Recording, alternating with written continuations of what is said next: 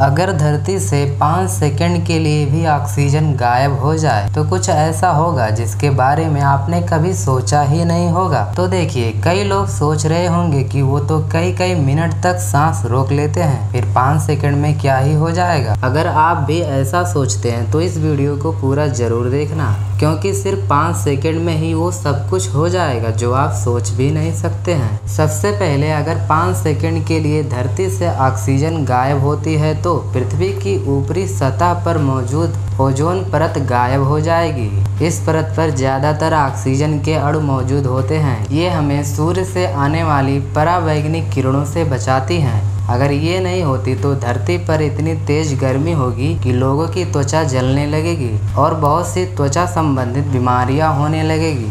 और पानी H2O यानी हाइड्रोजन व ऑक्सीजन से मिलकर बना है। ऑक्सीजन न होने से धरती पर मौजूद पानी वाष्प बनकर उड़ने लगेगा, जिससे बड़े बड़े महासागर तेज़ी से सूखने लगेंगे और पानी में रहने वाले जीवों का अस्तित्व भी संकट में होगा।